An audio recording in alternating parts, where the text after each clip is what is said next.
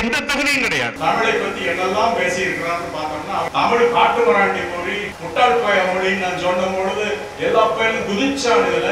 ஒரு பையன் என் முன்னால வந்து பேச முடியலையே. என்னடா இருக்கு உன் தமிழ்லன்னு கேட்டா பண்ணிக்கலாமேங்கிறான். இங்க இருந்து ஒருத்தர் போன் போட்டா கிலோமீட்டருக்கு இருக்கிறவன் என்னன்னு கேட்கிறான் உன் தமிழ்ல அது இருக்கா? அப்படின்னு கேக்குறாரு. அவர் யோக்கியமான ஆளா இருந்தா தமிழ்ல விஞ்ஞானம் இருக்கான்னு தேடி பார்த்துருக்கணும். எதையும் தேடாம உனக்கு உன் நீ முட்டாள் உன் முன்னோன் முட்டாள் உன் சமுதாயமே முட்டாள் உனக்கு எதுவும் தெரியாது நான் வந்து சொன்னதுக்கு அப்புறம் தான் உனக்கு எல்லாம் தெரியும்னு சொன்னாங்க பாருங்க. இதுதான் அவர் தமிழுக்கு செய்த துரோகம். உன் வீட்டுல நீ மனைவியோட இங்கிலீஷ்ல பேசு குழந்தைகளோட இங்கிலீஷ்ல பேசு வேலைக்காரியோட இங்கிலீஷ்ல பேசுன்னு சொல்லக்கூடிய ஒரு மனிதர் இந்த திராவிடம் தமிழுக்கு எதிராக இருந்தது. தமிழர் நலனுக்கு எதிராக இருக்கிறது. தமிழ் நாட்டின் நலனுக்கு எதிராக இருக்கிறது. இந்திய தேசிய நலனுக்கும் எதிராக இருக்கிறது. மொத்தத்தில் இது ஒரு சமூகத்தில் சமூகத்தை பீடித்திருக்கக்கூடிய ஒரு வியாதி. அடைந்தால் திராவிட நாடு இல்லையே சுடுகாடு அப்படின்னு அறுபத்தி ரெண்டுல சைனா போர் வந்தப்ப நேரு வந்து ஒரு சட்டம் கொண்டு வந்தார். இனிமே பிரிவிதைவாதம் பேசினால் அங்கீகாரம் ரத்து செய்யப்படும். பன்னெண்டு வருஷம் ஜெயில் அப்படின்னு. உடனே எல்லாம் மாறிக்கிட்டாங்க.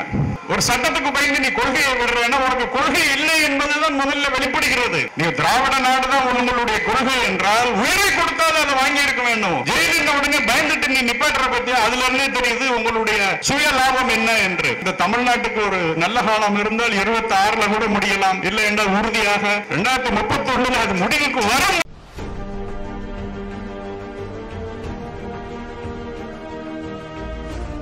இந்த திராவிடம் ஏன் ஒழிக்கப்பட வேண்டும்? மிக எளிமையான பதிலை சொல்லிடலாம். இந்த திராவிடம் தமிழுக்கு எதிராக இருந்தது தமிழர் நலனுக்கு எதிராக இருக்கிறது தமிழ் நாட்டின் நலனுக்கு எதிராக இருக்கிறது இந்திய தேசிய நலனுக்கும் எதிராக இருக்கிறது. மொத்தத்தில் இது ஒரு சமூகத்தில் சமூகத்தை பீடித்திருக்கக்கூடிய ஒரு வியாதி. இந்த வியாதியை கூடிய விரைவில் இந்த வியாதியிலிருந்து தமிழ் சமூகம் விடுபடும் என்ற நம்பிக்கை இந்த விழாவின் தொடக்கத்தின் மூலமாக எனக்கு இருக்கிறது. சரி இப்படி ஒரு குற்றச்சாட்டை வைத்து விட்டு நான் சும்மா போய்விடலாம். இது எப்படி இந்த குற்றச்சாட்டு? தமிழ் தமிழ்னு அவங்க உயிரை விடுறாங்களே அது எப்படி இந்த திராவிட தமிழுக்கு எதிராக இருக்கும்? இவங்களுக்கு ஆச்சரியமா இருக்கணும். இவங்க எப்படி தமிழுக்கு எதிராக இருக்கக்கூடும் அப்படின்னு. ஆனால் உண்மையை நீங்கள் யோசிச்சு பார்த்தீங்கன்னா இந்த திராவிடத்தின் பிதாமகனான பெரியார் தமிழை பத்தி என்னெல்லாம் பேசியிருக்கிறான்னு பார்த்தோம்னா அவர் என்னென்ன அறிவுரைகள் சொல்றார்? இன்னைக்கு கூட யூடியூப்ல இருக்கு. தமிழ் காட்டு மராண்டி மொழி முட்டாள் பய மொழின்னு நான் சொன்ன பொழுது எல்லா பையனும் குதிச்சான் இதுல. ஒரு பையன் என் முன்னால வந்து பேச முடியலையே. என்னடா இருக்கு உன் தமிழ்லன்னு கேட்டா பண்ணிக்கலாமேங்கிறான் அப்படி முட்டாள இருக்கிறத விட்டுட்டு இனிமே நீ ஏன் பண்ண போற? இங்க இருந்து ஒருத்தர் போன் போட்டா பத்தாயிரம் கிலோமீட்டருக்கு இருக்கிறவன் என்னன்னு கேட்கறான் உன் தமிழ்ல அது இருக்கா? அப்படின்னு கேட்கிறார் இந்த வீடியோ நீங்க எல்லாரும் பார்த்துருப்பீங்க. தமிழை பற்றி பெரியாருக்கு இருந்த ஒரு மதிப்பீடு இவ்வளவுதான். இவ்வளவு இதை வந்து இதை விட ஒரு முட்டாள்தனமான வாதத்தை யாரும் வைக்க முடியாது. காரணம் பெரியார் தமிழ் இலக்கியத்தை இங்கிலீஷ்ல இருக்கக்கூடிய விஞ்ஞானத்தோடு ஒப்பிடுறார். இலக்கியத்தையும் இலக்கியத்தையும் கம்பனையும் ஷேக்ஸ்பியரையும் ஒப்பிட்ட தவறில்லை. கம்பனை போய் அங்கே நியூட்டனுக்கு ஒப்பிட்ட மாதிரி இங்க இருக்கக்கூடிய இலக்கியத்தை கொண்டு போய் அங்க இருக்கிற விஞ்ஞானத்தோட ஒப்பிடுறார். அப்படின்னு அவன் என்ன பண்ணிருக்கணும் அவர் யோக்கியமான ஆளா இருந்தா தமிழ்ல விஞ்ஞானம் இருக்கான்னு தேடி பார்த்துருக்கணும். எதையும் தேடாம உனக்கு ஒன் நீ முட்டால் உன் முன்னோன் முட்டாள் உன் சமுதாயமே முட்டால் உனக்கு எதுவும் தெரியாது நான் வந்து சொன்னதுக்கு அப்புறம் தான் உனக்கு எல்லாம் தெரியும்னு சொன்னாங்க பாருங்க. இதுதான் அவர் தமிழுக்கு செய்த துரோகம். அவர் தமிழ் திருக்குறளை அசிங்கமாக பேசினார். இப்ப சுபமித்ரோ சொல்றார் எங்கேயாவது எழுத்து தர முடியுமா? அப்படின்னு. சாமி சிதம்பரனார் எழுதிய பெரியார் சிந்தனைகள் புத்தகத்துல எழுபத்தி எட்டாவது பக்கத்துல அப்படி இருக்கு. என்ன தங்கத்தட்டுன்னு இல்லை. மற்றபடிக்கு திருக்குறள் வந்து மடநாற்றம் முட்டைநாற்றம் நாட்டு நாடுகிறது பெரியார் எழுதுறாங்க உன் வீட்டுல நீ மனைவியோட இங்கிலீஷ்ல பேசு குழந்தைகளோட இங்கிலீஷ்ல பேசு வேலைக்காரியோட இங்கிலீஷ்ல பேசுன்னு சொல்லக்கூடிய ஒரு மனிதர் எப்படி தமிழுக்கு அவர் தலைவர் தமிழர் தலைவராக இருக்க முடியும்? தமிழர் தலைவர் என்ற தலைப்பு டைட்டிலே அவருக்கு பொருந்தாது. அப்படி ஒரு தலைவரை நம்ம இன்னைக்கு கொடுக்கணும்னா நம்ம அர்ஜுன் சம்பத் மாதிரி அண்ணன்மார்களுக்கு தான் இன்னும் நம்ம புதுசாக தான் நம்ம உருவாக்கணும். அந்த டை அந்த ஒரு விருதை அவருக்கு கொடுப்பதில் சால பொருத்தமாக இருக்கும். அது மட்டுமல்ல தமிழர் நலனுக்கு எதிராக இருந்தது இந்த திராவிடம். எப்படி? தமிழ்நாட்டுல மொழிவாரி மாகாணங்கள் பிரச்சனை வந்த பொழுது ஐம்பத்தஞ்சில் வருது. மொழி ஃபசல் அலி கமிஷன் அப்படின்னு ஒரு கமிஷனை போட்டு மத்திய சர்க்கார் மொழிவாரி மொழிவாரி மானியங்களை பிரிக்கலாம்னு ஒரு பிரச்சனை வருது. அப்போ உங்களுக்கு எல்லாம் தெரிஞ்சிருக்கும். திருத்தணி வட எல்லை திருத்தணி திருப்பதி தெற்கே வந்து தேவிகுளம் பீர்மேடு. இவை வந்து தமிழ்நாட்டை விட்டு போகுவது போல் கன்னியாகுமரி உட்பட போவது போல் ஒரு பிரச்சனை வரும் பொழுது இந்த திராவிட கட்சிக்காரர்கள் திராவிட இயக்கமும் சரி திமுகவும் சரி யாருமே குரல் கொடுக்கல. காங்கிரஸ் வந்து நேரு கொண்டு வந்தாருங்கிறப்ப காங்கிரசும் குரல் கொடுக்கல. அதை எதிர்த்து குரல் கொடுத்தவர் மாப்போசி ஒருவர் தான்.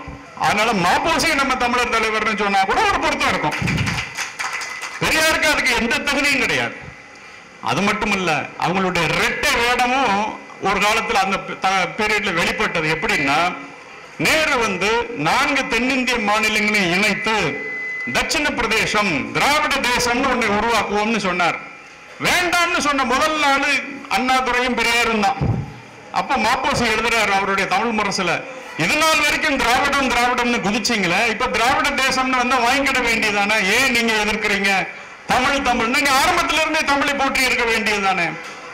நீ நல்லதெல்லாம் செய்யும் பொழுது திராவிடம் திட்டம் போதெல்லாம் தமிழனை திட்டுற. இப்போ உனக்கு ஒரு நெருக்கடி வரும்பொழுது தமிழ் தேவைப்படுகிறது. ஏன்னா நீ ஆட்சிக்கு வர முடியாது. நாலு மாநிலம் சேர்ந்திருந்தா மற்றவங்க ஆட்சிக்கு வந்துருவாங்கன்னு. இந்த ரெட்டை வேடம் ஐம்பத்தஞ்சுல முகத்திரை கிழிந்தது. ஆனாலும் தமிழகம் ஏதோ ஒரு காரணத்துக்குனால இந்த பிராமண எதிர்ப்பு என்ற ஒரு மாய வலையில் சிக்கிக் கொண்டதனால் தமிழகம் அவர்களுக்கு ஓட்டு போட்டது. அடுத்தது இந்திய தேசியத்துக்கு எதிராக இருந்தது இந்த திராவிடம்.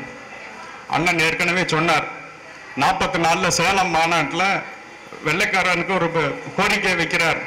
அதை வாசித்தவர் அண்ணாதுரை அவர்கள். நீங்க மொத்த இந்தியாவுக்கு விடுதலை கொடுத்தாலும் எனக்கு எங்களுக்கு விடுதலை கொடுக்க கூடாது நாங்கள் உங்களுக்கு அடிமையாகவே இருப்போம். நல்ல வேலை. இந்த தீர்மானம் போடுறதுக்கு ஏழு வருஷத்துக்கு முன்னால மாப்போசி வாவூசி பாரதியார் எல்லாம் காலமாயிட்டாங்க. அவங்க மட்டும் இருந்திருந்தாங்கன்னா மீண்டும் ஒரு முறை அவர்கள் உயிர் விட்டிருப்பார்கள். செக்கெடுத்து உயிரை கொடுத்து குடும்பத்தை இழந்து செல்வத்தை இழந்த மனிதர்கள் இருக்கக்கூடிய ஒரு சூழ்நிலையில எனக்கு இன்னும் வெள்ளக்காரனுடைய ஆட்சி வேணும்னா ஏன்? இவங்களுக்கு எல்லாம் வெள்ளக்காரன் வந்து கான்ட்ராக்ட் கொடுக்கறான் ராவ் பகதூர்னு பட்டம் கொடுக்கறான் ஆனா நமக்கு சிறைவாசம் கொடுக்கறான். ஆகையினால அவர்களுக்கு தமிழர் நலனும் கிடையாது தமிழ்நாட்டின் நலனும் கிடையாது இந்திய தேசிய நலனும் கிடையாது. இதற்கப்புறமும் கூட பிரிவினைவாதம் பேசினார்கள். அடைந்தால் திராவிட நாடு இல்லையே சுடுகாடு அப்படின்னு. அறுபத்தி ரெண்டுல சைனா போர் வந்தப்ப நேரு வந்து ஒரு சட்டம் கொண்டு வந்தார். இனிமே பிரிவினைவாதம் பேசினால் அங்கீகாரம் ரத்து செய்யப்படும். பன்னெண்டு வருஷம் ஜெயில் அப்படின்னு. உடனே எல்லாம் மாறிக்கிட்டாங்க. அப்ப கூட இப்ப இப்ப கேட்டா சுப்பவி சொல்றார். அந்த கா- கோரிக்கையை கைவிட்டுமே ஒழிய அந்த காரணங்கள் அப்படியே தான் இருக்கின்றன. அண்ணாவும் சொன்னார். அப்படின்னு இப்ப இன்னைக்கு பேசுறாங்க. அவ்வளவு யோக்கியம் உங்களுக்கு கொள்கை முக்கியம்னா கொள்கைக்காக நின்றுக்கணும். ஒரு சட்டத்துக்கு பயந்து நீ கொள்கையை விடுறேன்னா உனக்கு கொள்கை இல்லை என்பதுதான் முதல்ல வெளிப்படுகிறது. நீ திராவிட நாடுதான் உங்களுடைய கொள்கை என்றால் உயிரை கொடுத்தாலும் அதை வாங்கி இருக்க வேண்டும் ஜெயிலிருந்த உடனே பயந்துட்டு நீ நிப்பாட்டுற பத்தி அதுல இருந்தே தெரியுது உங்களுடைய சுய லாபம் என்ன என்று. இதைத்தான் திராவிட மாயை என்று நம்ம பலரும் இதை எடுத்து சொல்லிக் கொண்டிருக்கிறோம். அந்த வகையிலே இந்த திராவிடத்தை ஒழிக்க வேண்டும் என்ற இந்த மாநாடு ஒரு முதல் புள்ளி. இந்த தொடக்கம் இந்த நீண்ட பயணம் சீக்கிரமாகவே முடியும். சொல்ல நமக்கு எல்லாம் இந்த தமிழ்நாட்டுக்கு ஒரு நல்ல காலம் இருந்தால் இருபத்தி ஆறுல கூட முடியலாம். இல்லை என்றால் உறுதியாக ரெண்டாயிரத்தி முப்பத்தி ஒண்ணுல அது முடிவுக்கு வரும் என்று சொல்லி உங்களிடமிருந்து விடைபெறுகிறேன். நன்றி வணக்கம்.